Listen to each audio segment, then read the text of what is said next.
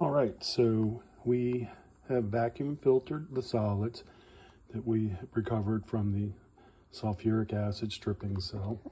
And I'm not going to treat that with hydrochloric acid. I'm going to put this straight to HR, excuse me, AR. Don't want to go to HR. Uh, so we are going to dissolve it in aqua regia and I'm going to go get some SMB and then we're going to drop it and see what we get. Good morning. Looks like we're going to have a little rain here. So I got to speed this up. This bong resin looking stuff uh, was from the gold kind of slimes, I guess, from the sulfuric acid stripping cell. Uh, man, that stuff was really gummy. So what I have here is some hydrochloric acid and we're going to slowly titrate the nitric in to make uh, aqua regia and uh, we'll get back to you um, with the drop when I have some SMB. So here's a little bit of the reaction here. Uh, we could do slow motion or you know you guys can just sit here and stare at the bubbles um, but that is the aqua regia attacking the gold residue from the sulfuric acid stripping cell. And uh, we'll come back in a couple of minutes, but it's starting to take off. I may have added a little bit too much nitric. I put about 10, mm, maybe 8 millimeters in there. So we'll see. It's starting to fume up though, and you're starting to see how you get that slight yellow color. So stay tuned. So, reaction's moving along quite nicely. Uh, it's only been on for a couple of minutes. And uh, over here I decided to work on this, mine as well. Uh, that was a little bit of stuff that was recovered from um, cementing out the AP solution and uh, that's what we're coming up with. I just put a few drops of nitric in it. It looked like silver. Uh, we'll see.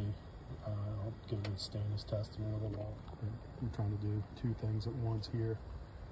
Trying to get some uh, lab work done before it rains. So that's it. All right, so kind of had two things going on at the same time, take advantage of the weather. This was the sulfuric acid stripping cell, and this was um, from that CPU pens, the uh, penless CPUs rather, and I had trouble with it. So I cemented out the values in the stock pot and uh, looks like I got a little bit of silver in there and uh, there's definitely gold. This is the Stannous test. This right here was the Stannous test for the failed CPUs and this is the Stannous test for the sulfuric acid stripping cell. Um, when I had set this filter paper down. It was in between these two pieces of ceramic tile and there's some water on it so you're seeing it's a little wet but it's bleeding there. That uh, This right here was from this one right here and uh, man, we're going for the gold. It might be a little bit but we're going to go for it and some silver. Oh, and uh, right here is some fresh Stannous. Uh, it's 20 mils of hydrochloric acid and some tin. I heated up just a little bit and you can see it's still working its way. I'll put that in a container. I keep losing the damn Stannous testing solution. So I made up a new batch and look, Stannous chloride is easy to make. Hydrochloric acid and tin. You absolutely cannot go wrong making this. So we're gonna add a little bit of sulfuric acid to uh, dissolve that nitric. All right, so first of all, I've taken my gloves off to do some camera work here. And uh, what you're seeing is the good old vacuum filter knocking this stuff out. I, I diluted it just a little bit, but um, this this batch right here was from the penless CPUs I had an issue with. Maybe it was too acidic when I was trying to drop it with the ferrous sulfate or the copperas, whatever you want to call it.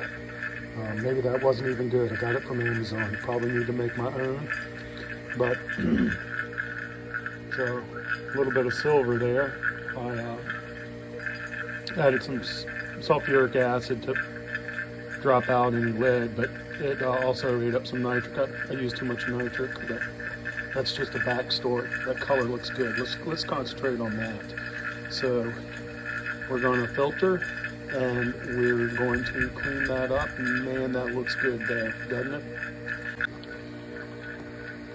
So we're going to filter the dirty solution, and you're going to watch the magic happen.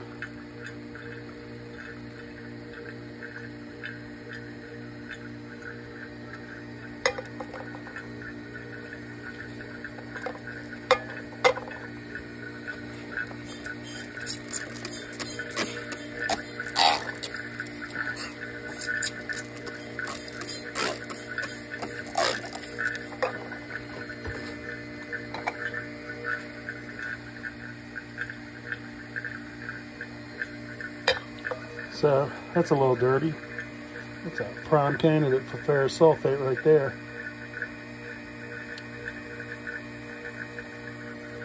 I want to go over just something I prefer to do with my vacuum pump. I'll put a filter in there. See how close that water is. I really need to probably make like a vacuum filter where there we have a vacuum flask with a glass tube and it goes over to the next one. But I really do worry about uh, the acids getting into the oil. So I try and filter it before it goes to the vacuum pump. So that thing might be backwards. So, so this is the debris or filtrate that's left over. And uh, man, it kind of looks like dirt. I don't know what that is yet, but we're going to put it in the paper storage until I can figure it out. Any suggestions or ideas would definitely be welcome. And I'm going to change out that filter paper. We're going to try and clean that up, run through a few more times.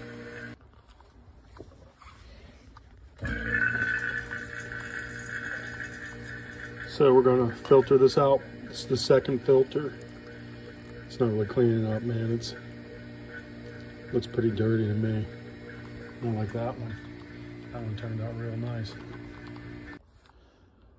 So it's filtered out. We're going to cap it.